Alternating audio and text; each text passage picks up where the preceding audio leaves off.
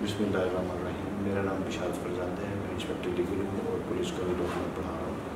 मैं आपको पंजाब में दीवारों पर मामला के इजहार की ममानियत का कानून उन्नीस सौ पचानवे कराऊँगा इस कानून को अंग्रेज़ी ज़ुबान में Punjab prohibition of expressing matters on wall act 1995 कहते हैं। इस कानून की कुल चार दिफा हैं, जो आज हम डिस्कस करेंगे। इस कानून का जो तारुफ है, वो मैंने आपको करवा दिया है। तो इस कानून को रुफिया में वॉल चॉकिंग एक्ट भी कहते हैं। लेकिन बहसीत पुलिस ऑफिसर आपको इसका मुकम्मल नाम जो है वो पता होना चाहिए कि इसको अंग्रेज़ी ज़बान में और उर्दू ज़बान में क्या कहते हैं, ताकि आप आइंदा कोई ऐसी गलती न करें जो एफ़ आई आर लिखते हुए एफ़ आई आर के फेस पे कानून का गलत नाम लिखा जाए। तो ऐसी गलती से गुरेज करना है। इसका मुकम्मल नाम जो है वो लिख रहे हैं, मार दफ़ा के साथ। जो दफ़ा इसकी पीनल क्लास है, उसका इसमें हवाला दिया जाएगा, दफ़ा दो है इसकी पीनल क्लास ताज़ीरी दफ़ा दो है। तो इसकी मैंने अभी आपसे अर्ज़ किया कि चार दफ़ात हैं। तो पहली दफ़ा जो है, इसके अनुमान वसत और आगाज़ के बारे में है।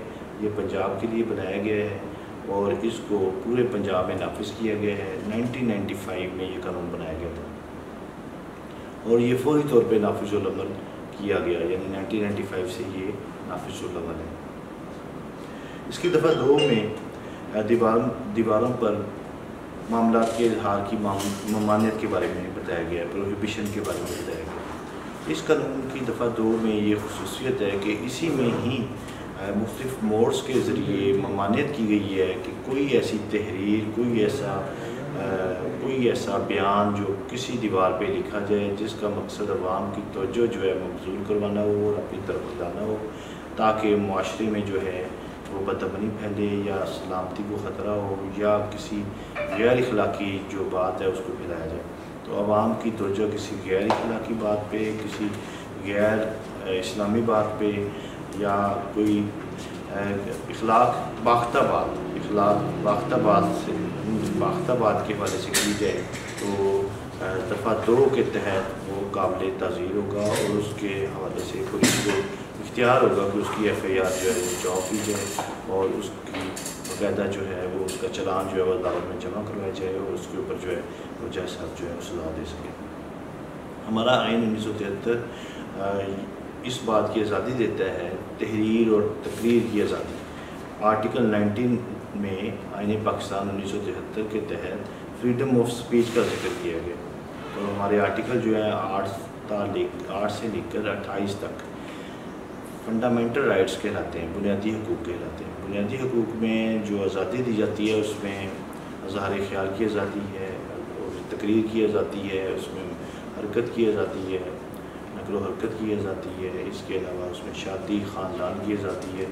आज़ादियों के बारे में और बुनियादी हकूक़ के हवाले से ये आर्टिकल में बताते हैं। लेकिन साथ साथ वो subject to contact subject to की बात करते हैं कि ताबे हैं, ये सब्जेक्ट टू रिस्ट्रिक्शन है कि कुछ हदूद और कयूद के ताबे हैं, ये आर्टिकल हदूद और कयूद के ताबे हैं। तो अगर किसी भी ऐसी हद की खिलाफ वर्जी की जाए तो फिर उसमें मुतल कानून जो है वो हरकत में आ जाता है और उसके तहत जो है ऐसे अफराद जो इसको वायोलेट करते हैं, इसकी खिलाफ वर्जी करते हैं, उनके ख़िलाफ़ जो है वो कार्रवाई की जा सकती है।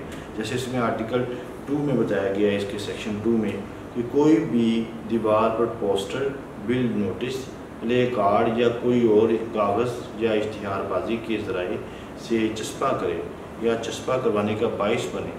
या दीवार पर चाक के ज़रिए या किसी और दिगर तरीके के ज़रिए, जिसमें स्प्रे हो सकता है या कोई पेंट हो सकता है, उसके ज़रिए दीवार दीवार पर कोई मामला ऐसा तहरीर करे जिससे पब्लिक की तो जो उस तरफ़ जाए, मफजूल हो जाए और मुल्क में वो जो है सलामती को ख़तरा हो बदमनी का ख़तरा हो, मजहबी मुनाफरत का ख़तरा हो तो इस किस्म के हालात में दफ़ा दो के तहत कार्रवाई की जा सकती है। इसकी पिनल सेक्शन इसका दूसरा हिस्सा, इसी सेक्शन का पिनल सेक्शन है। पहला हिस्सा डेफिनेशन सेक्शन है कि उसमें बताया गया है कि उसमें सोर्स कौन कौन से हो सकते हैं। और दूसरा हिस्सा इसका जो है पिनल सेक्शन है, जिसमें सज़ा के हवाले से बताया गया है। तो पिनल सेक्शन में जो इसकी सज़ा है, अब हम देखते हैं वो क्या है। तो इसमें जुर्माना हो सकता है, एक जुर्माना है, दूसरा इसमें छः माह तक सज़ा हो सकती है। और जुर्माने की रकम पच्चीस हज़ार से लेकर एक लाख रुपये तक हो सकती है। अब इस, इसी सेक्शन के एक अहम हिस्से की तरफ़ हम देखते हैं कि वो सेक्शन क्या है, इसका अहम हिस्सा क्या है। तो इसमें एक अहम हिस्सा जो है, इसकी एक्सेप्शन की बात करता है कि इसमें, इसी सेक्शन में जो एक्सेप्शन है वो बयान की गई है कि अगर दीवार का मालिक या काबिज अपने कारोबार से मुतलिक कोई कवायद दर्ज करे तो इस दफ़ा के तहत वो जुर्म नहीं समझा जाएगा कि बहुत से हम देखते हैं, कारोबार हो रहे हैं हमारी सोसाइटी में। इर्द गिर्द हम देखें तो कारोबार हो रहे हैं या क्लिनिक्स चल रहे हैं, कारोबार हो रहे हैं बुकला के डॉक्टर्स के और इसी किस्म के जो दूसरे कारोबार हैं मिलते जुलते जनरल स्टोर है तो वो अगर अपने कारोबार के लिए कोई इश्तहार वगैरह लगाता है और आवाम की तोजह हासिल करने के लिए ऐसा करता है, उसका मकसद भी नेक नीयत है और वो कारोबार भी जायज़ है जिसकी इजाज़त पाकिस्तान में दी गई है। तो फिर जो है इस दफ़ा के तहत वो उसे इस्तना हासिल होगा एक्सेप्टेड होगा या एग्जेप्टेड होगा वो इस क्लास से। तो उसके ख़िलाफ़ ऐसी कोई कार्रवाई नहीं की जाएगी जो कि इस सेक्शन टू की बात की गई या भी के हवाले से बात की गई थी। तो उसको एक्सेप्शन के तहत जो है वो डील किया जाएगा। सेक्शन टू ए इस कानून के सेक्शन टू ए के तहत इख्तियार समात और सरसरी ट्रायल की बात की गई। इस एक्ट के तहत जो जराइम है, वो कोगनीचेबल हैं, काबिल दस्तंदाजी हैं, पुलिस इसमें एफ़ आई आर का इंदराज कर सकती है और और फिर जो है इसमें जराइम जो है नाकबिल ज़मानत है, यानी अदालतें इसमें फौरी तौर पर ज़मानत नहीं लेंगी और मजिस्ट्रेट दर्जा अव्वल इस कानून के तहत जो है, जबता फौजदारी अठारह सौ अठानवे के तहत जो है, वो सरसरी ट्रायल भी कर सकता है। इस कानून को और जबता फौजदारी को देखा जाएगा, मिलाकर अगर हम देखें तो वो प्रोसीजरल कानून है, वो प्रोसीजर बताएगा कि प्रोसीजरल तरीकाकार क्या होगा। अभी हमने इसमें सज़ा की भी दफ़ा देखी है और फिर इसमें एक्सेप्शन भी हमने देखी और अब इसमें हम प्रोसीजर बात कर रहे हैं कि इसके तहत जो है प्रोसीजर क्या होगा। तो प्रोसीजर जो है वो समरी ट्रायल के हवाले से हमें बताता है कि सेक्शन टू ए में कहा गया कि एक तो सरसरी ट्रायल है, इसका सरसरी ट्रायल किया जाएगा यानी सरसरी ट्रायल को आप समझें कि सरसरी ट्रायल क्या होता है। तो सरसरी ट्रायल वो ट्रायल होता है जिसमें शहादत के जो जबता है उनको फॉलो नहीं किया जाता। जिसमें जरा नहीं होती क्रॉस एग्जामिनेशन नहीं होता और उसमें सरसरी तौर पे शहादत लेकर एविडेंस रिकॉर्ड करके उस पर सज़ा सुना दी जाती है। सेक्शन तीन में दीवारों पर लिखे गए मवाद को आ, या उसके इजहार को मामला को मिटाने का इख्तियार के हवाले से बात करता है सेक्शन थ्री इस कानून के नफाज के तीस दिन के अंदर हर लोकल कौंसल अपने हदूद में दीवारों पर लिखे गए इन मवाद को हटा देगी, जिनके इजहार की खातिर ये कानून जो है बनाया गया तो ये लोकल गवर्नमेंट को इख्तियार दिया गया है कि अगर वो इस कानून के नाफिज होने के बाद जो है वो देखती है कि जहाँ दीवारों पर ऐसे मवाद उन्हें नज़र आते हैं तो उनको फौरी तौर पर वो तीस योम के अंदर मिटाने की पाबंद है।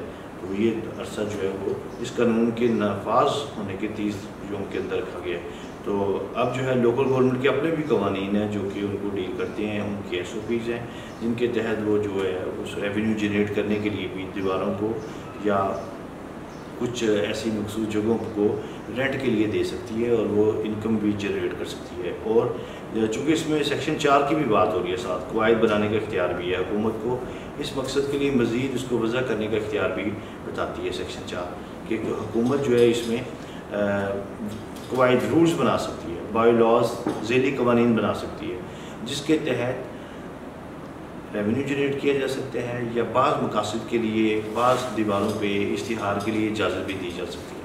तो ये ऐसा इख्तियार जो है, वो हुकूमत को ये सेक्शन फोर एम्पावर करती है कि वो रूल्स बना दे और इसको रेगुलेट करे। यानी इस कानून को चलाने के लिए हमने देखा है कि लाहौर में अगर आप, लाहौर का जायजा लें तो लाहौर में बहुत सी ऐसी जगहों पर हमें इश्तहार भी नज़र आते हैं। जिसका मकसद जो है वो रेवेन्यू जनरेट करना है या प्रमोशन ऑफ़ कल्चर है प्रमोशन ऑफ़ लैंग्वेज है। या कोई अवेयरनेस पैदा करने के लिए, किसी बीमारी के हवाले से या किसी कोई आफत के हवाले से, या मुल्क सूरत हाल या ट्रैफ़िक के, कवानीन के हवाले से, कवानीन की आगाही के लिए दीवारों का इस्तेमाल किया जाता है।